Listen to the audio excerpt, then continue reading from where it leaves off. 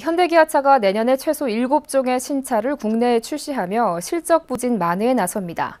내년 1월에 full change된 기아차 모닝이 가장 먼저 출격해 경차시장 1위 재탈환을 노리고 있습니다. 이어 상반기에는 현대차의 준대형 세단 그랜저 하이브리드와 기아차의 첫 스포츠 세단 CK, 제네시스 브랜드의 G80 디젤 모델이 각각 출격합니다.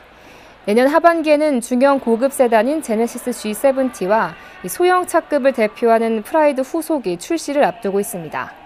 이 밖에 현대차는 내년에 소형 SUV를 출시한다는 목표입니다.